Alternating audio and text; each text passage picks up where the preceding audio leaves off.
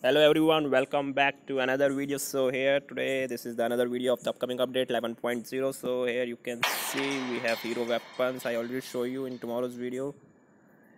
But the thing is little bit changed now. You can see they are going to change the new unlocking system. So here first of all they introduced that system in this gemstone. Here in this immortal gemstone you need the previous sanguine gemstone to make the new gemstone. After that they introduce it in this dragon emblem.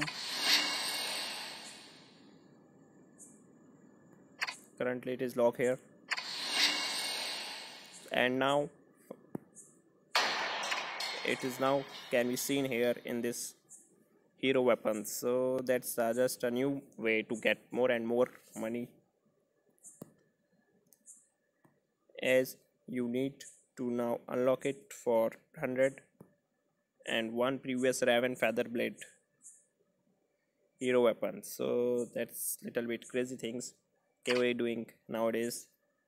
Here we need to I need to get the previous raven one and upgrade it to the feather. This one.